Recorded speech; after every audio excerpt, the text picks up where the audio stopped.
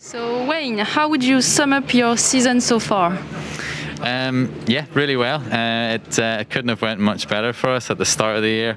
Uh, obviously, we get two poles in the bounce and two wins in the bounce. Um, the next race didn't go quite to plan, um, but you know we still come into here with a 10-point uh, lead in the championship. So overall, it's been pretty good. As you said, you currently have a 10-point advantage in the championship.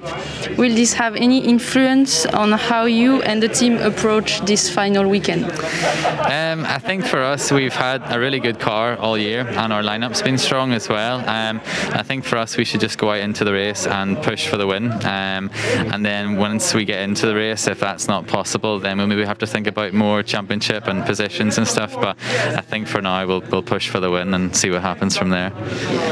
You won here with United Autosports in 2017, and you know this track very well.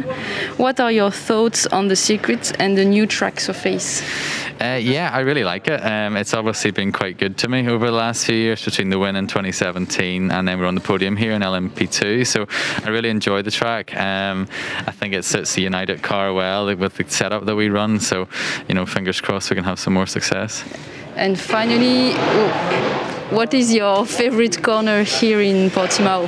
Uh, favorite corner? Um, probably the last corner. Um, for, for us, it's quite comfortably flat now, but just with the, the drop off down the hill, you definitely feel that every time anyway. But yeah, really like the last one.